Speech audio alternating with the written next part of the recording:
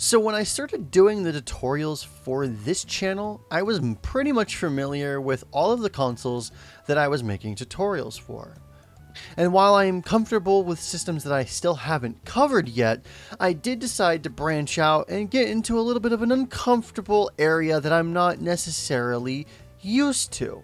I brought this up on one of the other tutorials for the European computers, but I primarily just did DOS.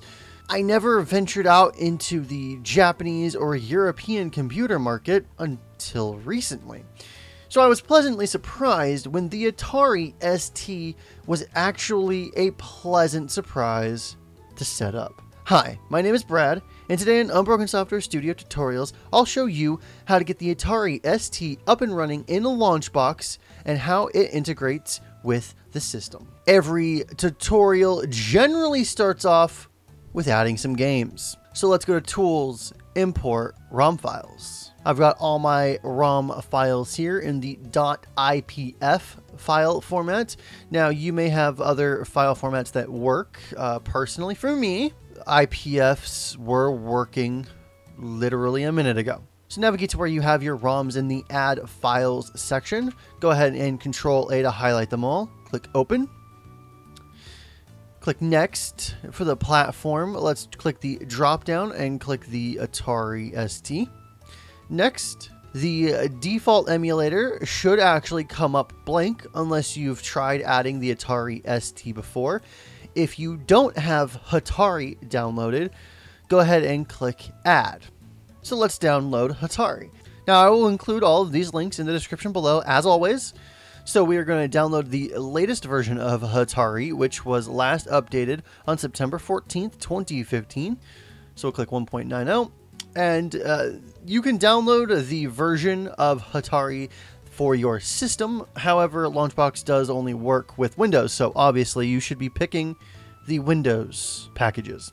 If you have a 32-bit version of Windows, go ahead and download this package here. If you have a 64-bit version of Windows, go ahead and download this package here, the Hatari 190 Windows 64 for 64-bit OSs. Click it and download it to the location of your choice. Once downloaded and extracted, you'll have a folder similar to mine, minus this extra folder here. We'll, we'll cover that in a second. So over here, back in the edit emulator page, go ahead and add Hatari as the emulator name. Browse to your exe for Hatari, go to the associated platforms, add Atari ST to the associated platforms, just double click an empty space, add the name, make sure that the names are going to match. So when we had to designate a platform name earlier and we chose Atari ST from the drop down menu, we left it at the default name. Make sure that you put the default name in here or whatever it is that you chose go ahead and check the default emulator box and then click OK. No special command lines, at least as far as I could tell. You, there may be command lines to put it in full screen automatically or whatnot, but uh, we'll also cover settings in a minute. Click Next. Use the files in their current location. Uh, we're going to download from the Launchbox Games database and from Wikipedia. Next, this is the new image downloader in Launchbox. This is only in the beta release channel right now, and it's not exactly perfect.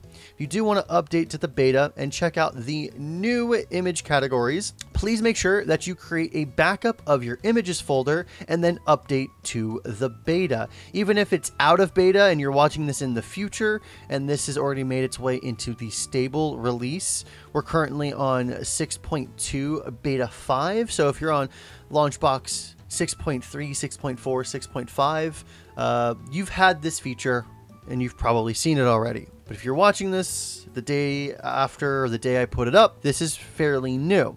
Like I said, create a backup of your images folder and then go ahead and re-download all your images. And now that sounds daunting, but unfortunately that's how we kind of have to handle it right now. Because the way the images work has been changed, we just need to re-download everything. But of course, as you can see, we have way more categories and thus more image types. This should satisfy most everyone's needs to have all the media available. Now, the tiered image system doesn't accompany this update quite yet, but that will be coming soon, so that way you can choose which to show first and then in which order to then go down the list to fill in the holes. So this is it. Uh, uncheck what you don't want, check what you do want, and then click next. And as always, it's going to log you into your EmuMovies account. We're going to go ahead and select all and then next, next, and this is the list of games to import. Now, if there's a name in here that you see really quick that you want to change, maybe uh, it imported the name a little bit wrong, you can go ahead and double click the name box here like you do in the associated platforms list to edit the name. You can also just press delete to remove a game instead of importing it, and this will just skip importing it for this process. Go ahead and click finish when you're done once all your media is downloaded. And as you can see, unfortunately, there is not a whole lot of art for the Atari ST. Unfortunately, that's just kind of how it goes. This is, uh, we're starting to get into the more niche systems so to speak. Now, that's not to say that some of you out there don't have beautiful looking libraries of images for these more niche systems. And if you do, please upload your images to the Launchbox Games database for everyone to enjoy. Uh, and you'll be able to upload all that media and metadata to the Launchbox Games database from within Launchbox very soon. Back over on the Hatari website, there are a couple of links that you should be aware of. The first is the front page here. If you scroll down to the bottom, you'll see where it says EmuTOS. So the Hatari emulator does need an Atari ST BIOS file, but these are called TOS files. So if you search Atari TOS, you're probably going to find what you're looking for, right? Somebody has created an open version of these BIOS files. And as you can see, you can even launch the OS, so to speak. Now, this is the more basic version of the OS. I believe that these BIOS are based on version 1.02, which, if I recall, the BIOS go up to version 2 and, and later, but uh, these will work fairly well. Now, Hatari does come with these BIOS pre-included, but if we look at the download page, this was last updated 19 hours ago. And as I shown you, Hatari was last updated in 2015. So these BIOS are technically more updated than the ones included in the Hatari emulator. So go ahead and click download. You'll download the archive to this folder and I went ahead and extracted the folder to here. Inside is four files, the doc folder, the image file, the sim file, and the text file. In the text file is some useful information. So if you are having compatibility issues, this would be something to read over and look through. It has a lot of extra information in it as well. Speaking of compatibility and issues and troubleshooting, the Hatari documentation and the Hatari links pages on this website are also full of great information. So if you have any questions, it may have already been answered on these pages, so please keep that in mind. Specifically, the compatibility list here for the Hatari emulator. Now this will help you set up MIDI for the ST and games and demos and applications and whatnot, and it'll actually tell you what is and what's not working. And as you can see, this list is pretty small. You'll also even notice that some games like Garfield's Winter Tale require a specific BIOS file, so do keep that in mind. So Garfield Winter's Tale would not actually run with the 1.02 BIOS file. Unfortunately, there's no really easy way to uh, deal with that sort of thing uh, except for manually switch it in the emulator. Now there can be methods. You can create a couple of different config files for Hatari to have it point at different TOS files if you would like, but uh, you if so game's not working, it might just be better just to play around with the settings, look at the compatibility, see what you can find. But unfortunately, this is one of those systems that is not great for the amount of games that you can play, at least on the EMU TOS. Now, if you find official Atari ST TOS files out there, the performance and compatibility for those can actually be a lot higher. So do keep that in mind. If you are having compatibility issues, finding the legitimate sources out there may also help your gaming along. So let's right click Deliverance, open Hatari. The window is a little bit small for me, but that's okay for right now for our purposes. So let's go ahead and press F12 to open our Hatari main menu. This is where you can change a lot of your settings. Under System, I've kept it as ST and 68,000 for the CPU type. It does seem that the EMU TOS does require certain settings to stay the same. I was able to change the CPU clock to 32 megahertz. I was able to check the real-time clock emulation, and it doesn't seem to have failed on me. Uh, I did try changing the CPU type or the machine type, and Hatari kind of yelled at me and said, this isn't going to work, so we're switching it back for you.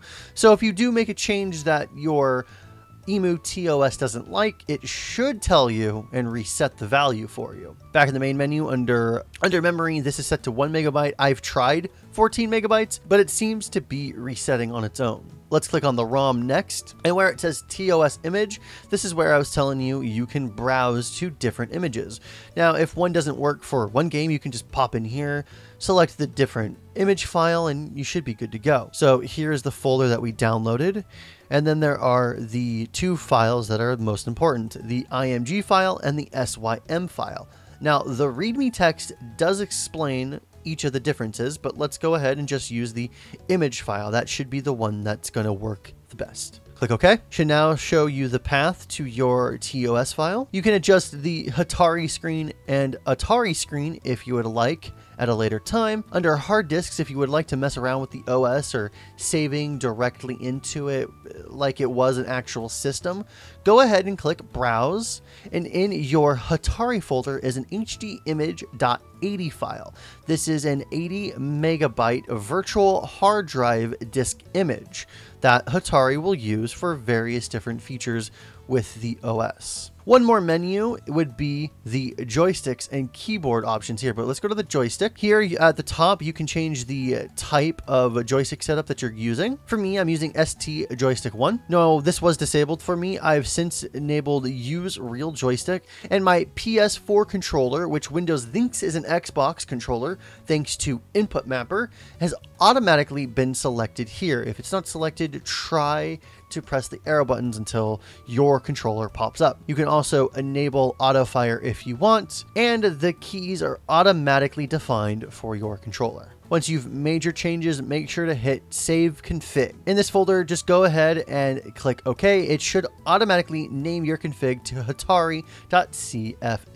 Once you've made your changes, let's go ahead and test the game. Now, I'll be frank, and during my test runs, when I would launch a game, I never got this window to pop up or anything like that. And it never booted directly into the operating system, but it did notice during that boot screen that it did have some information. So it automatically will boot the image if you press or hold X here at this white screen. And it wasn't doing this for me, like literally right before I did this tutorial. So, I'll, you know, I'm just being honest with you guys. These are unscripted and things like this happen. So, I guess if that you come across it, that is a, a way to fix it, but it's not ideal. I, I will grant you that. But that is essentially how you get the Atari ST up and running, and my controller should work and everything. Music should work. It might not sound the best, and you may not have MIDI music per se, but it's up and running, guys. And uh, also, the games may take a really long time to load. So uh, keep that in mind.